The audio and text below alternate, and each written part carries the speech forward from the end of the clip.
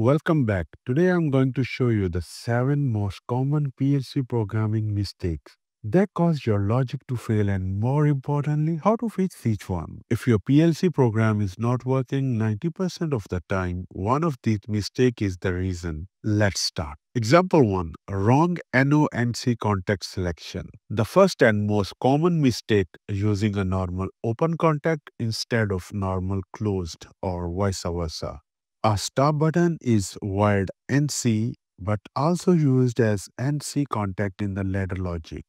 In result, motor never starts. Check the real input state, replace with the correct instruction, NO with NC or NC with NO, and retest the program. Example number 2, output never energizes. The second mistake, everything looks fine, but the output coil never turns on. Causes wrong tag, overlapping outputs, the condition is false. Now to fix this, go online and check the green execution path. Replace the wrong tag and remove any duplicate coils.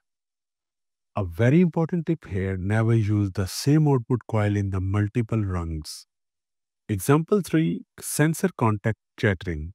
Let's assume we have a limit switch used to detect the presence of an incoming object.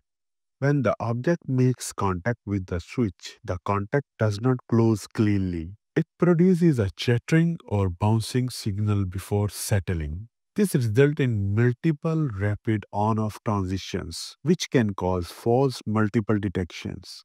To prevent this, a debounce timer typically set to around 200 milliseconds is used. This timer filters out the unstable signal and ensures that only one clean stable detection is generated.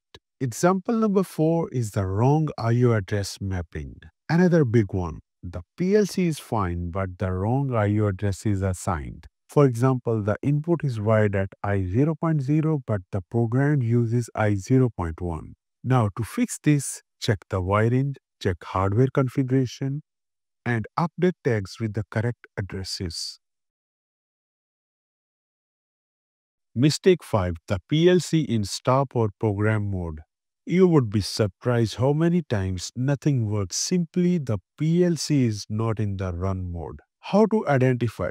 Simply the outputs don't energize and there will be no scanning of the ladder logic and the run LED turns off. To fix this, turn the PLC to run mode before testing. Example 6. Faulty sensor or wiring issue. Sometimes the program is perfect, the problem is in the hardware. You have to check loose wires, broken sensors, and check the control 24 volt DC power supply is available. To fix this one, simulate the inputs, force the input on temporarily, replace or repair the damaged sensors. A safety note here, never force outputs on the real machinery, especially when the machine is running. Example 7. The scan cycle misunderstanding. Many beginners forget the PLC works in cycles. It scan input, read the logic, and update the outputs.